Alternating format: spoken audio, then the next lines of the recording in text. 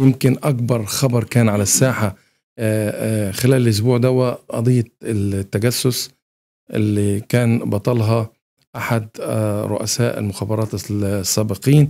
وخبرنا بيقول كمبيوتر ب ألف يورو تفاصيل جديدة حول شبكة التجسس النمساوية لصالح روسيا.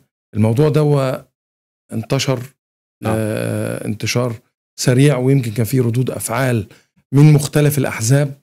كان على أثرها طبعا أنه خرج علينا آه كارل نيهاما واللي بيطالب بتوسيع صلاحيات المخابرات اللي موجودة في النمسا. تعليق حضرتك على الخبر.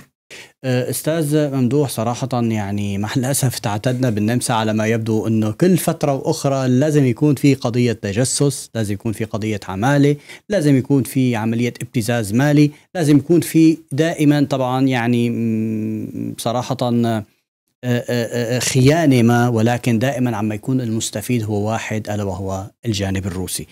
هذا سؤال صراحة كتير كبير أستاذ ممدوح. ليش ليش النمسا دائما عم تتجه هذا المنحى؟ وليش عم نسمع دائما أخبار من هذا النوع؟ الوزيرة كارين كنايسل وزيرة الخارجية النمساوية السابقة بعهد الحكومة التركيز والأزرق اللي امتدت من تقريبا 2017 ل 2019 وانتهت بفضيحة سياسية. طبعا كان لروسيا أصبع فيها الوزيرة اللي حاليا موجودة والتي تعيش في روسيا آه، آه، آه، ضابط المخابرات النمساوي أوت والذي اكتشف أنه قام بتسريب أو ببيع معلومات إلى روسيا أو إلى موسكو عبر جهاز أو مقر ما موجود في برلين من خلال جهاز كمبيوتر. الوزيرة دي اللي حضر فرحها بوتين طبعا اللي جه مخصوص. لا لا وحضر فرحها نعم نعم. نعم, نعم. حفل وزيرة الخارجية وزيرة الخارجية بس ليست هي المعنية بهذا لا لا هي مش معنية. نقول انه إنه في عندنا عدة عمل عدة حالات بصراحة جميعها تصب في الصالح الروسي, الروسي نعم. هنا هنا هنا المشكلة بصراحة. آه، فهذا جهاز جهاز يعني كان مرة آه، ثلاث أشخاص من آه، من أهم أفراد المخابرات النمساوية على يبدو برحلة قارب ومعهم هواتفهم. فهذا القارب انقلب فسقطت ثلاث أجهزة هواتف خاصة فيهم بالماء. فاللي اسمه أوت هو فعليا قام بأخذ هذه الأجهزة وارسالها إلى مركز صيانة ليقوم بصيانة هذا الأجهزة. يعني هيك كما كما قيل وأشيع وتم تسريبه على الصحافة. وقام عند بعد بعد أن حصل على هذه الأجهزة قام بالإحتفاظ بنسخة بنسخة احتياطية عن كافة محتويات هذه الأجهزة على جهاز كمبيوتر. وهذا جهاز الكمبيوتر قام يقال أنه آه، قام ببيعه أو محاولة البيع. صراحة التحقيقات ليست غير واضحة ما في معلومات انه محاولة البيع لطرف آه، في برلين وصولا إلى إلى إلى إلى آه، موسكو.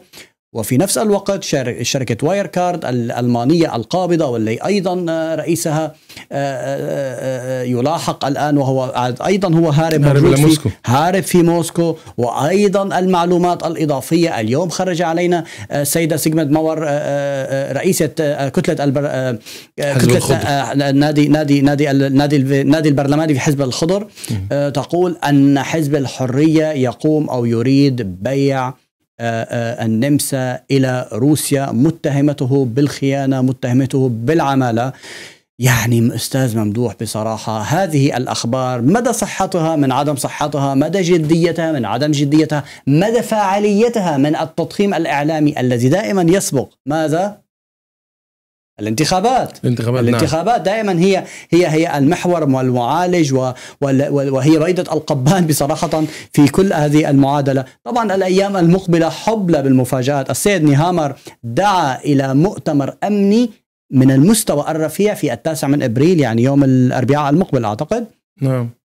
وبناء على هذا الشيء آه، سيكون هناك بعض القرارات. طبعا السيد نهامر أعتقد في خبر لاحق أو سابق آه، آه، لاحق. سيكون عندنا قال أنه يريد يريد تشديد مراقبة الجهات الأمنية لتطبيقات بعض تطبيقات الهواتف مثل انستغرام تليجرام التطبيقات المشفرة حتى نستطيع تشديد جهاز المخابرات الدولي على مستوى النمسا مقصود طبعا نعم.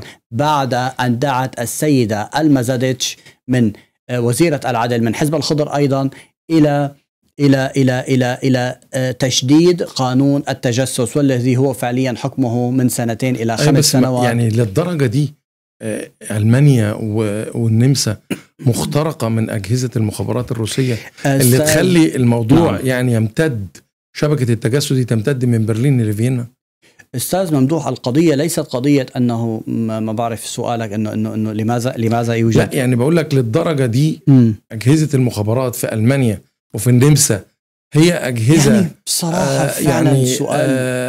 آه مخترقة بهذا الحد من جهاز المخابرات الروسي إن يعني هم تخيل تخيل يقدروا يعني يقدروا نعم نعم نعم يجندوا رئيس مخابرات. نعم نعم يعني تخيل مقابل مبلغ 20 ألف يورو يعني يعني صراحة في في في أمور غير واضحة. ممكن يكون الأمر عبارة عن تضخيمات. يعني نحن من من يتابع الشأن النمساوي يلاحظ مرارا وتكرارا أن كل مرة يخرج علينا الإعلام بفضيحة ومصيبة وقضية المستشار سيباستيان كورس ما بعرف شو آخر شيء بتلاقي من خلال المحكمة والتحقيقات بينحكم عليه سنة غير قابلة للتنفيذ يعني مع نعم. وقف التنفيذ عفوا.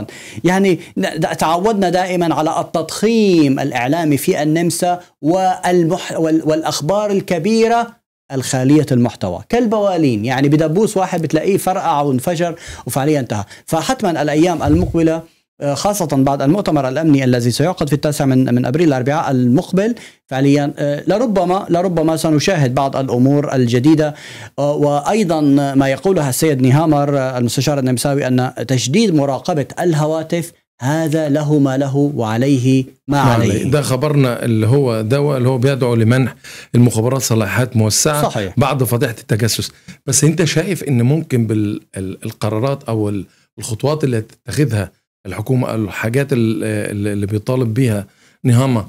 هل دي ممكن مع وجود هذا الكم من الاختراقات لجهاز لجهاز المخابرات الروسي؟ وده يمكن مش النمسا وألمانيا مش هي الوحيدة في أوروبا. هل نعم. بالقرارات دي يمكن الحد من عملية الاختراق دي من وجهة نظرك؟ والله ممكن جدا أستاذ ممدوح. اليوم اليوم بصراحة يعني اليوم حتى كلمة تجسس يعني بيني وبينك اختلفت معاييرها اختلفت اختلفت عن السابق. يعني سابقا كان يجي واحد معه شنتاي ومعه شوية اوراق يعطيها للآخر والثاني عرفت شلون؟ وتنتهي القضية، اليوم هذا الموضوع انتهى، اليوم اليوم من خلال الهواتف من خلال الإعلام من خلال الميديا من خلال الآلاف الوسائل المتاحة بين أيدينا. يتم التنصت ويتم المراقبة ولكن التطبيقات الضخمة العملاقة مثل تطبيق الواتساب تطبيق الفيسبوك تطبيق تويتر يعني تطبيقات التي فيها مستوى المراسلة مشفر بشكل عالي جدا. هذا يستحيل اختراقها. وبالتالي دولية وبالتالي طبعا وبالتالي وبالتالي عندما قال نيهامر وقبله قالها كارنر وزير الداخلية قال يجب أن نعمل على مراقبة هذه الوسائل حتى نستطيع نستطيع مراقبة حالات التجسس. كما قالت السيدة آه، آه، آه، المزادتش لا نريد أن ننسى دولة التجسس. نعم. ومعروفة فيينا معروفة فيينا أن هي تستضيف ما بعرف قديش 600 جاسوس حول العالم أو نعم. أكثر بحكم فيها المؤسسات الدولية تقريبا كل مخابرات العالم كل مخابرات بسبب في بسبب بسبب الحماية القانونية للجواسيس. في النمسا لا يسمح لك أن تتجسس على النمسا ولكن يسمح لك أن تتجسس على دولة أخرى من النمسا. من خلال النمسا.